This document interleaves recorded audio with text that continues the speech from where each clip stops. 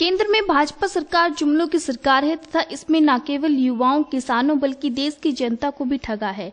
उन्होंने प्रधानमंत्री को सीधे सीधे कहा कि कहीं भी बहस के लिए आ जाएँ तथा वह देश की जनता को बताएँ कि उन्होंने कितने युवाओं को देश में रोज़गार दिया है।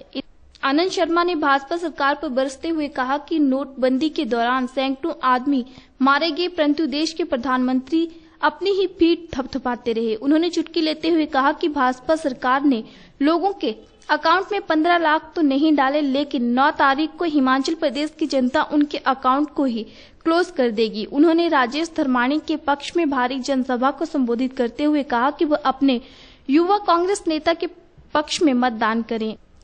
जिन्होंने घुमारवी में विकास की गंगा बहा दी है। उन्होंने लोगों से कहा कि वह भाजपा के जुमलों में न आए तथा कांग्रेस के पक्ष में मतदान करें। बाद में कांग्रेस के कार्यकर्ताओं द्वारा शहर में भव्य रैली का आयोजन किया गया, जिसमें करीब चार हज़ार कांग्रेस कार्यकर्ताओं ने अपनी हाजिरी भरी।